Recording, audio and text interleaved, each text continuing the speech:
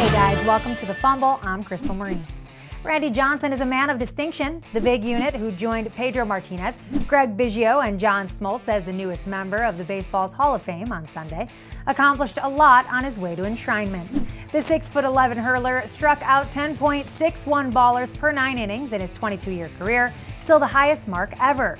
His 4,875 strikeouts are the second most of all time, behind Nolan Ryan. He won five Cy Young Awards, second only to Roger Clemens' seven. And he's 22nd on the all time wins list with 303.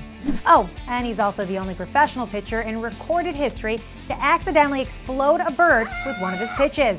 In a 2001 spring training game with the Arizona Diamondbacks, right in the middle of Johnson's streak of four consecutive Cy Youngs, a dove, who must have not been a baseball fan, flew between Johnson and the San Francisco Giants' Calvin Murray.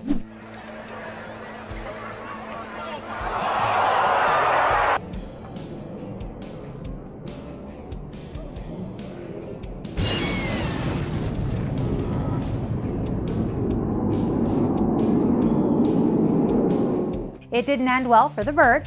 Then again, the Diamondbacks won the World Series that season, and Johnson was the series MVP.